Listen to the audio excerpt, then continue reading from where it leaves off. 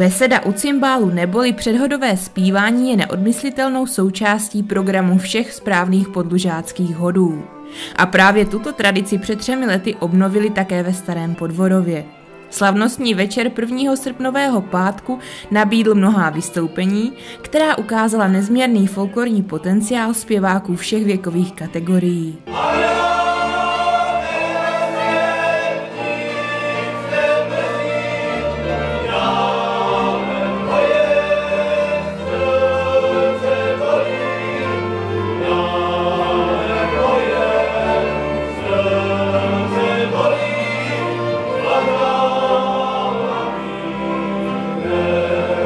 Kdo všechno tady vystoupil, domácí přes polní soubory?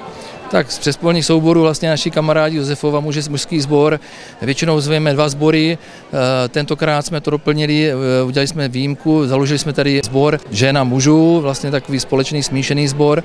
No a tak jsme si říkali, že taková příležitost, tak bylo dobrý poprvé jako tak trošku na veřejnosti vystoupit na takovém formátu. Organizace samozřejmě společná, jo, každý dal do toho něco. Výčet těch lidí samozřejmě od, vezmu od Kordulky, od paní ředitelky Hajdové přes pana Kurečku, co se týká cymbálky, Sedlana Přibylová, Jana Osičková, jako těch jmen spoustu, takže dáváme to nějakým způsobem dohromady, tak aby to mělo nějakou, nějakou kostku a nějaký formát. Ta tradice jako toho předrodového zpívání, Jo, to je senzační. Tak to viděla, viděla jste sama, co tady vystupovalo za děti, jak takovou dědinu nenajdete, nebo to, to každý může nám závidět. To tím, tím podchycením tím v tom souboru, v té kordulce. Oni vlastně od 6 let jsou tady, jsou s náma a slyší muziku, slyší harmonii, čili a do toho, než se dostanou do toho věku, jak jste viděli ty verbíře, ty dospělé, no tak to jsou všechno dětská z kordulky.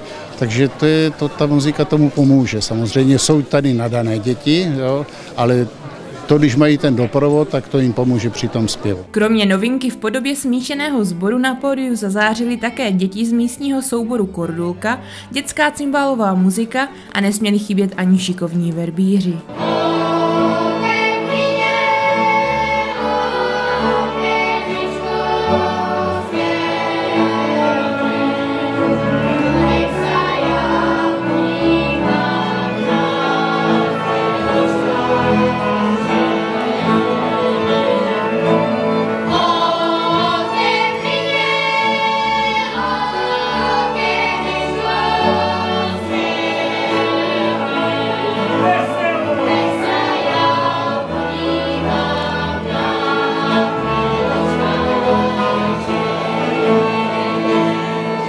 To jsou věci, které my s tou kordulkou už hráváme a to máme se cvičené. Jsou tady ty zpěváky, kteří byli z Josefova, tak ty jsme museli nacvičit.